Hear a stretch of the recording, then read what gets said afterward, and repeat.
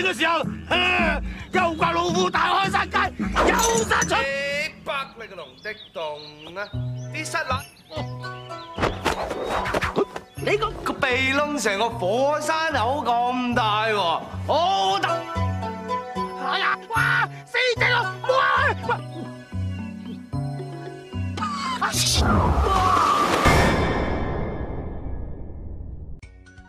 ！Hai Sobat Spoiler di mana pun berada, apa kabar? Saya berharap kalian baik semua ya Balik lagi dengan saya Bob, makhluk luntang lantung cari sukses di Youtube Dan punya hobi nonton film Tentunya dalam merangkum film-film berkualitas hingga tuntas Pada episode kedua ini diceritakan Raja Kera alias Sun Gokong masih di istana Raja Kera Dia dan Zong tampak akur tapi sebenarnya masih ada rasa penasaran siapa sesungguhnya pemenang di antara mereka berdua. Raja Neraka bilang mereka nggak usah bertarung lagi, tapi ikut dia saja kalau berani. Oke, siapa takut? Rupanya yang dimaksud Raja Neraka adalah bertarung minum tuak. Nggak terasa mereka telah menghabiskan 200 botol kecil dan 300 botol besar. Raja Neraka bercerita, dulu dia bekerja pada Kaisar sebagai tenaga ahli. Lalu entah kenapa Kaisar menurunkan pangkatnya sehingga ia bunuh diri. Di neraka, ia diberi pencerahan oleh Raja Neraka dan belajar banyak ilmu sihir, sehingga nggak ada yang mampu menandingi kesaktiannya. Maka baru Sun Gokong inilah yang mampu menandingi ilmu sihirnya. Semua seimbang, sampai minum tuak pun seimbang. Lalu Sun Gokong bertanya pada Raja Neraka, utusan apa buat hidupnya? Raja Neraka mengeluarkan buku catatan kematian kembali. Di sana nama Sun Gokong benar-benar tertulis, dan itu mesti dilaksanakan pencabutan hak hidupnya. Karena ia cuma petugas, Sun Gokong pun pasrah, tapi ia minta tangguh 10 tahun lagi. Ia bakal balik ke sini. Catatan kematian Sun Gokong disobek oleh Raja Neraka. Akhirnya, ia dibebaskan dari kematian karena telah memenuhi dua syarat. Yakni syarat pertama harus memiliki ilmu sihir. Itu dimilikinya, serta mampu mengimbangi ilmu Raja Neraka. Kedua, harus memiliki sifat adil, Rupanya berkat ia menolong Raja Neraka dari serangan gelap roh macan serta tidak mengambil kesempatan saat Raja Neraka lengah tadi, itulah kunci keabadian. Sebelum berpisah, Raja Neraka berpesan Sun Gokong tidak boleh menyalahgunakan keabadian yang ia miliki. Kalau enggak, catatan ini bakal berlaku lagi. Oh siap, kata Gokong. Kini mereka benar-benar berteman. Sin beralih ke kampung Gokong. Di sana ia mendapati hampir semua rakyatnya menderita penyakit gatal. Lalu rakyatnya minta diobati penyakit itu. Maka dengan sekali tiup, kutu gatal-gatal itu pun terbang jauh. Tapi yang jadi sasaran serangan kutu gatal itu adalah Raja Iblis Kerbau. Ia mengamuk mencari siapa yang meniup kutu gatal itu padanya. Lalu Sun Gokong yang berubah kecil ada di sepatunya. Ia mengaku yang meniup kutu gatal itu.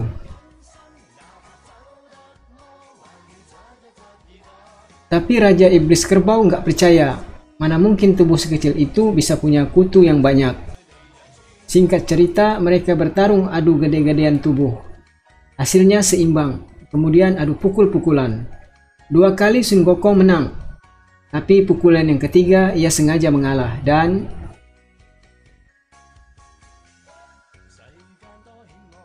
Dan itu cukup adil, kata Raja Iblis Kerbau.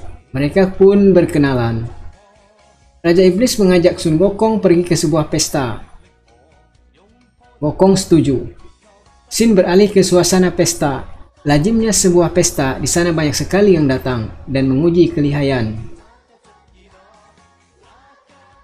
Pertama yang kena musibah jontokan Sun Gokong adalah pria yang mau lihat kesaktiannya setelah itu, Raja Iblis Kerbau mengajaknya bertarung minum. Hasilnya seri. Kemudian pamer senjata yang dimiliki. Tapi Sun Gokong nggak punya senjata yang bisa dipamerkan selain air core-nya doang. Aneh, kata Raja Kerbau. Semua raja punya senjata andalan. Sun Gokong bertanya di mana ia bisa mendapatkan senjata itu. Raja Iblis Kerbau memberitahunya pergi ke istana Naga Laut Timur. Cerita berpindah ke negeri bawah laut, di mana Sun Gokong menyelam mencari istana Naga Laut Timur. Kehadiran Sun Gokong sudah diketahui Raja Naga Laut. Setibanya di sana, Sun Gokong heran kenapa Raja Naga Laut nggak seperti sosok inspirasi hebat. Raja Naga Laut Timur bilang, jaga mulutmu. Sun Gokong bilang, katanya di dalam istana ini ada senjata yang bernama jarum penyangga laut. Ia meminta jarum tongkat penyangga laut timur itu, tapi Raja Naga Laut gak berani memberikannya karena bisa berbahaya buat ketenangan laut timur. Tapi dasar Sun Gokong dengan pede ia memaksa Raja Laut mau memberikan senjata itu, atau ia akan menduduki istana ini, serta menjadikannya jadi Raja Naga Laut Timur. Dengan rendah hati, Raja Naga Laut Timur mempersilahkan Sun Gokong duduk di singgasananya. Kemudian Raja Naga Laut Timur curhat pada Sun Gokong, kenapa ia seperti ini, bukan sosok inspirasi yang hebat. Ternyata ia adalah raja yang kurang liburan. Kelamaan berada di bawah laut. Nggak pernah tahu apa-apa selain laut dan ia kepingin banget merasakan hangatnya mentari. Maka Gokong dengan kesaktiannya membawa Raja Naga Laut Timur melesat ke langit, merasakan sedapnya berada di atas awan serta dekapan sinar mentari. Ia pun berterima kasih pada Gokong.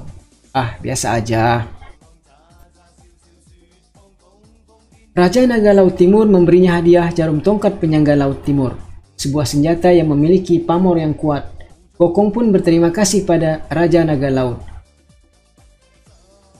Beralih ke sebuah kediaman bernama tempat tinggal Li. Diceritakan pembesar Li memiliki istri yang sudah hamil 3 tahun tapi belum juga melahirkan.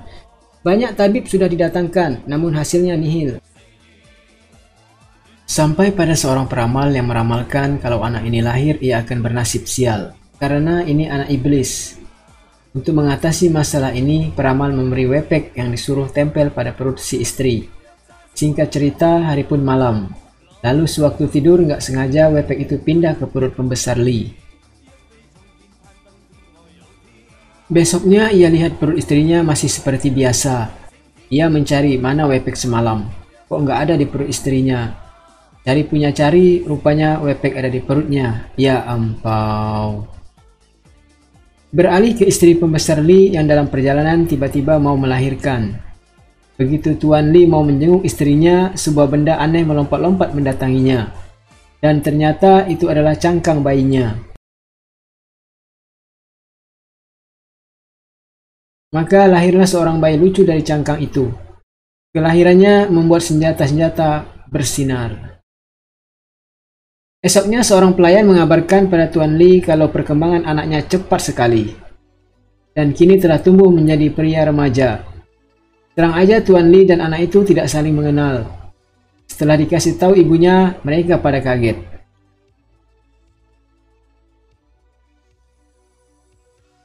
Tuan Li memberinya nama Nacha.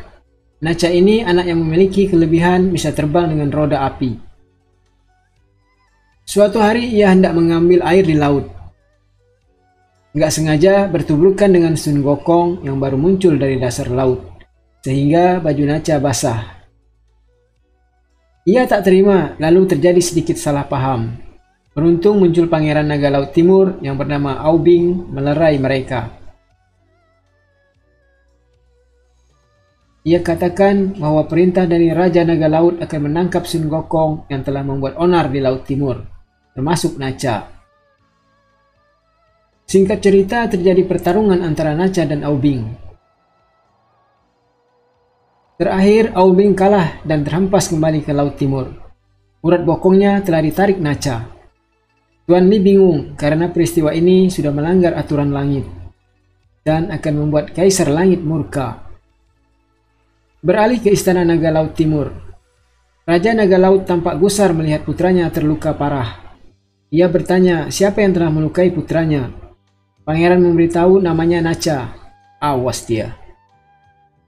Di tempat lain, Raja Iblis Kerbau tengah buat pertunjukan, yakni upacara keanggotaan para iblis dengan Raja Kera sebagai bintangnya. Pertunjukan yang luar biasa. Selesai aksinya, para gadis langsung menyerbu ke arahnya. Tapi ia langsung kabur. Memang kau punya pesona, kata Raja Iblis Kerbau. Raja Iblis Kerbau menantang Sun Gokong, bisa nggak membuat perempuan tercantik nomor satu di dunia iblis terpesona yang bernama Siluman Tengkorak Putih. Sun Gokong nggak tertarik, tapi dalam suatu suasana mempertemukan mereka.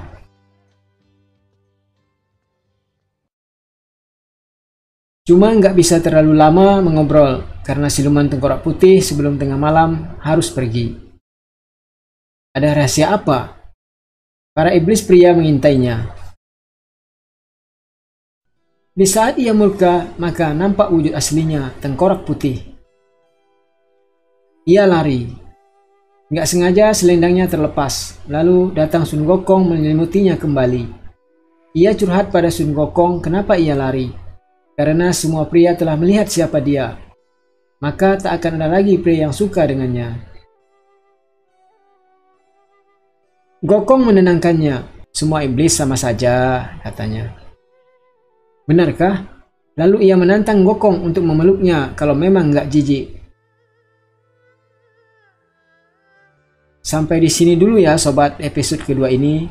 Kalau kalian suka silahkan klik episode selanjutnya. Dan jangan sungkan pencet tombol subscribe ya, biar si Bob nggak luntang-lantung lagi. Ciao!